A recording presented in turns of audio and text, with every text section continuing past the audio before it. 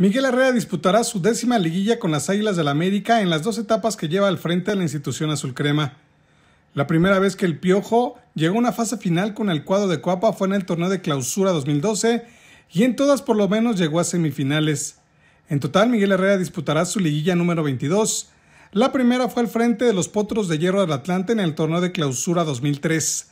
También disputó liguillas con Monterrey, Tecos y los Cholos de Tijuana. En total lleva dirigidos 80 partidos de fase final, con saldo negativo porque tiene 29 victorias, 31 derrotas y 20 duelos que concluyeron con empate. La victoria ante los Tigres de la Universidad de Nuevo León le permitió a la América amarrar su boleto directo a la liguilla y evitar el repechaje.